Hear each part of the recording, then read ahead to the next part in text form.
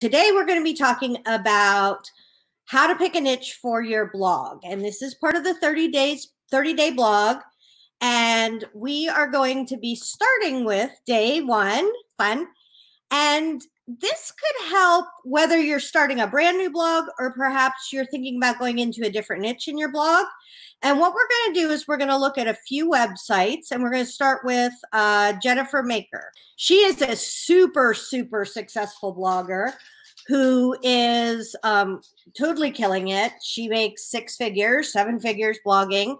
And she does all very niche and she's super, super niche. She does only cry, Cricut, Cricut crafts. Um, she's at jennifermaker.com and she just shows how to do anything on the Cricut. Look how cute that rainbow is.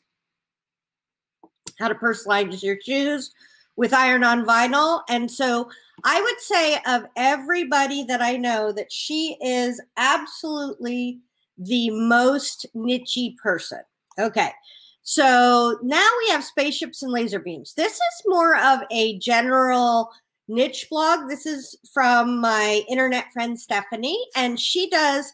Um, she started with party ideas, games, things, baby showers, and then she decided that um, she was going to branch into food. So it doesn't mean if you start one way, and we're going to talk about that a little bit with my blog in a little bit.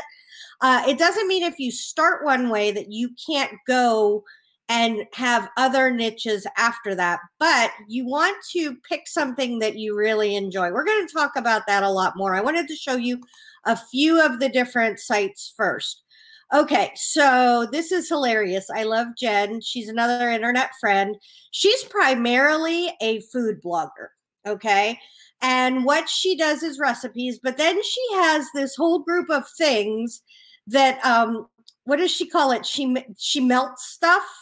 So if she melts crayons, she does real well. She has a blog post about melting um uh the little hard candies, chocolate chip cookies, um anything and she's hilarious. She says if she can melt it, she can get um traffic to it. So hers is mostly recipes, right? So this is a functionally a food blog. I'm going to close these as I go so that um so that I don't so my internet will go faster.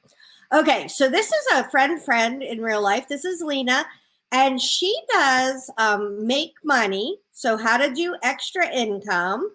She has a ton of free printables which drive a lot of traffic. And the funny thing for her is I mean, they're not fancy free printables. They're just like how to print a rainbow. And you can see somebody printing this out and sticking it to their window while everybody's sticking things to their windows.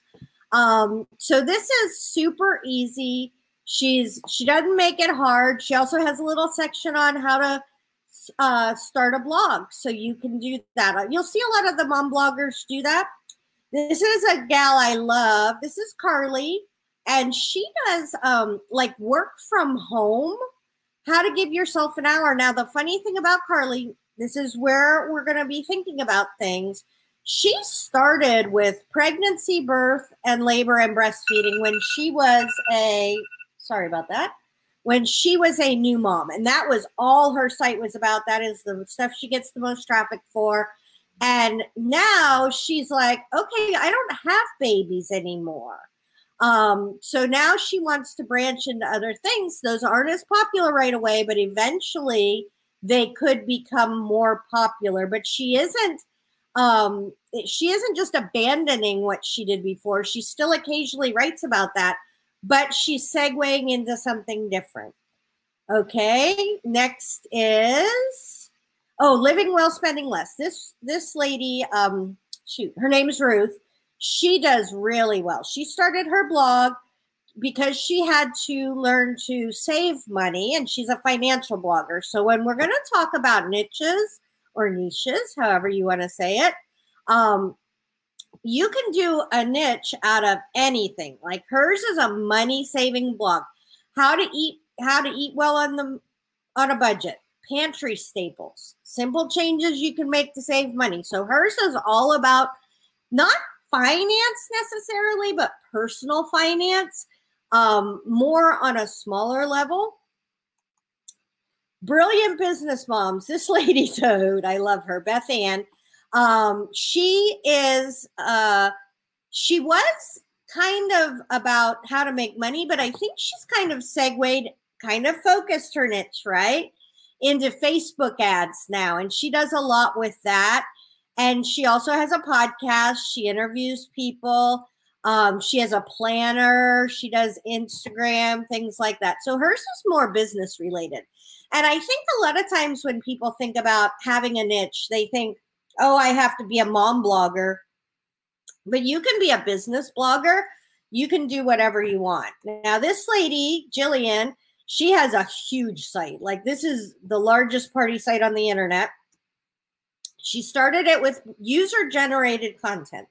And what that means is that the people who come to her blog are the ones that help give her ideas. So these are other people taking pictures of their own party, and that gives her all of the content for her blog. And she does very well on Pinterest. We're going to talk about how to market your blog. We're going to talk a little bit about setting up your blog. We're going to talk about lots of things over the next 30 days. But today we're just talking about niche.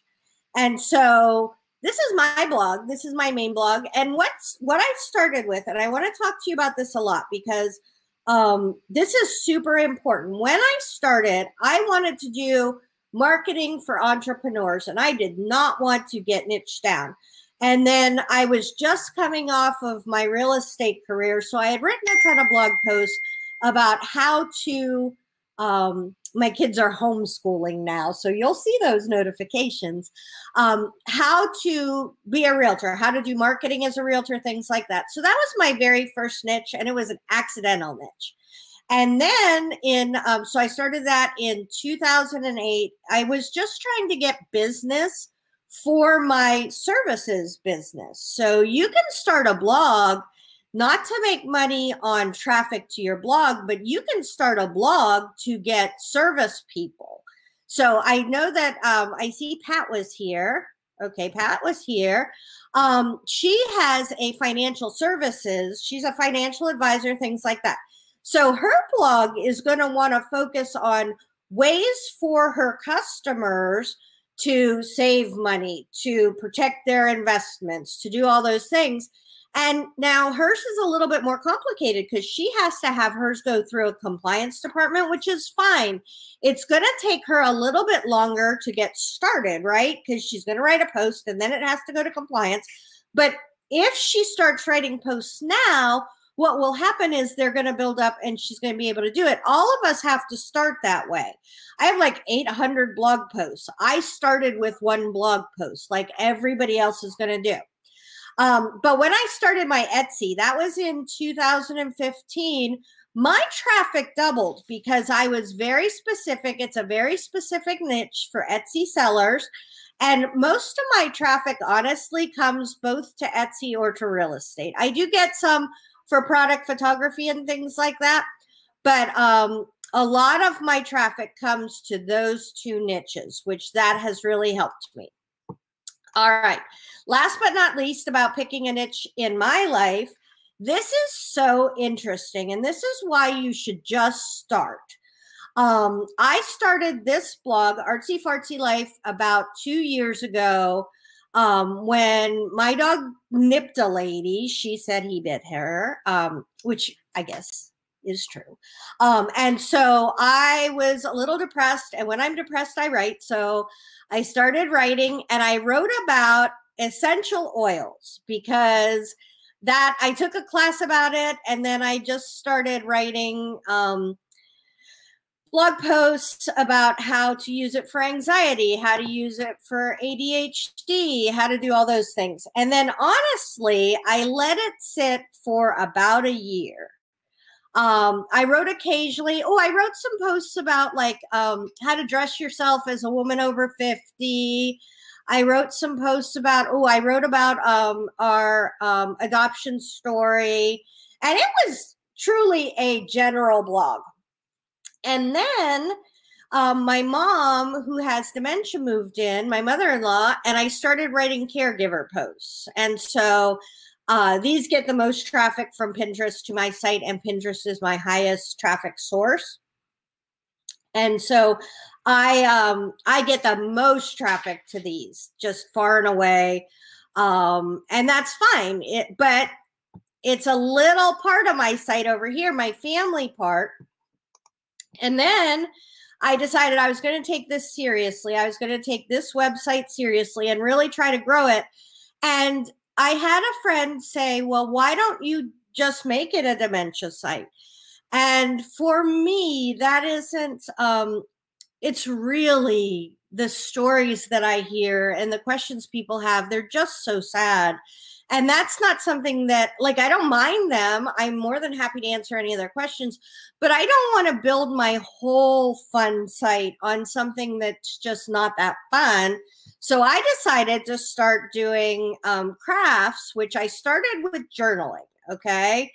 And um, so i do uh, magazine journal pages and that's fun. I get traffic to that and then finally, I wound up with adult crafts where I kind of do, I would say more so, I do um, painted crafts, decoupage crafts, things like that. And that's what I like doing. I even have a project sitting over there that I'm going to be doing that should be super fun.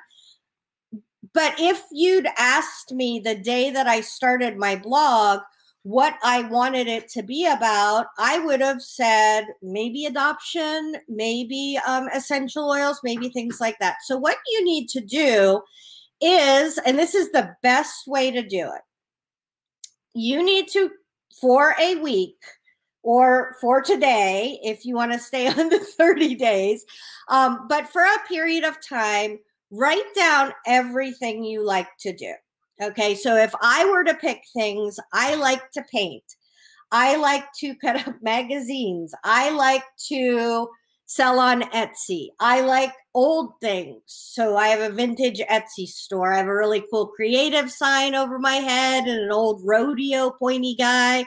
Um, I like dogs. My dogs are here.